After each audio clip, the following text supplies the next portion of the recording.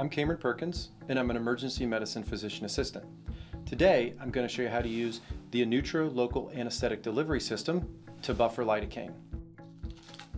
Take your syringe of choice, this one happens to be a 3 ml. Attach it to the smart site. Click the gray knob one time for 1 ml of buffered lidocaine. Click 1, hold to the 1 ml mark. If you want 2 mLs of buffered lidocaine, click again and pull up another ml. If you want 3 mLs of buffered lidocaine, click one more time and pull to the 3 ml mark. Simply remove the syringe, attach your needle of choice, this happens to be a 27 gauge, 1 inch. Your buffered lidocaine is ready for your procedure.